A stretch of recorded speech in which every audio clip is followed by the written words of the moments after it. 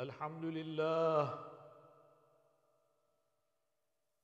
إن الحمد لله نحمده ونستعينه ونستغفره ونتوب إليه. ونعوذ بالله من شرور أنفسنا ومن سيئات أعمالنا. من يهد الله فلا مضل له ومن يضلل فلا هادي له. أشهد أن لا إله إلا الله وحده لا شريك له. ونشهد أن سيدنا وسندنا ومولانا محمدا عبده ورسوله لا نبي بعده. أما بعد فيا عباد الله اتقوا الله وأطيعوه إن الله مع الذين اتقوا والذين هم محسنون. قال الله تعالى في كتابه الكريم أعوذ بالله من الشيطان الرجيم. بسم الله الرحمن الرحيم. فإن مع العسر يسرا. إن مع العسر يسرا. صدق الله العظيم. وقال النبي صلى الله تعالى عليه وسلم مثل المؤمنين في توادهم وتراحمهم وتعاطفهم مثل الجسد. إذا اشتكى منه عضو تداعى له سائر الجسد بالسهر والحمى. صدق رسول الله.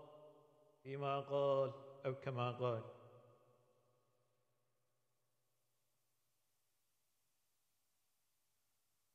Aziz müminler,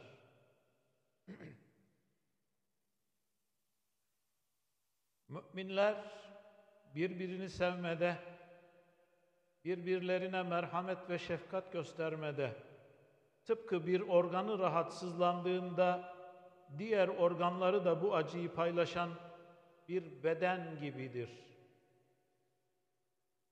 Rahmet Peygamberi Efendimiz sallallahu aleyhi ve sellem müminleri böyle tarif ediyor. Aziz kardeşlerim, millet olarak yüreklerimizi dağlayan çok büyük bir acıyı tattık. Büyük bir felaketle geniş bir coğrafyada büyük depremlerle sarsıldık. Milletimizin ve ülkemizin içine düştüğü bu ateş bizleri derin keder ve hüzne gark etti. Dillerimizde dua, içimizde umutla enkazlardan gelecek seslere kulak, kulak verip canlarımızı kurtarmak, birbirimize el uzatmak için milletçe hep beraber seferber olduk. Elhamdülillah. Kıymetli kardeşlerim, gün kenetlenme günüdür. Gün yardımlaşma ve dayanışma günüdür. Gün dua ve niyazla Cenabı Hakk'a sığınma, onun engin rahmetini ve yardımını talep etme günüdür.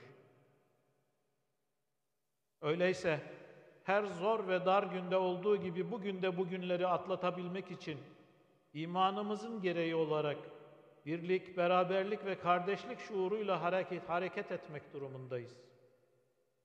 Birbirimizin umudu, birbirimizin yaşama sevinci olmalıyız. Depremden etkilenen her kardeşimizin yüreğine dokunabilmek, gözyaşlarını silebilmek hedefimiz olmalıdır. Acı, elem, keder ve hüzünlerimizi paylaşarak azaltmak gayretinde olmalıyız.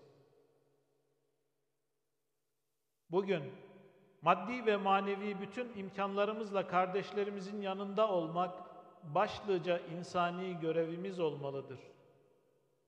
Yine özellikle böylesi zamanlarda sağduyumuzu ve sükunetimizi daha bir özenle muhafaza etmeli, birlik ve kardeşliğimize zarar verebilecek her türlü söz ve davranıştan uzak durmalıyız. Muhterem kardeşlerim, biliyoruz ki her türlü zorluğu omuz omuza, gönül gönüle aşan aziz milletimiz sahip olduğu basiret ve feraseti, Rabbimizin rahmet ve inayeti, devletimizin kudret ve gayretiyle yine yaralarını saracaktır. İnanıyoruz ki bu zor günleri Rabbimizin gönüllerimize bahşedeceği inşirah ve umutla, sabır ve sekinetle aşacağız. Bütün bu zor günlerin ardından, bu sıkıntıların sonunda Cenab-ı Hak muhakkak her zorlukla birlikte bir kolaylık vardır. Emri celili iktizasınca bir ferahlık ve, ve bir kolaylık bahşedecektir bizlere.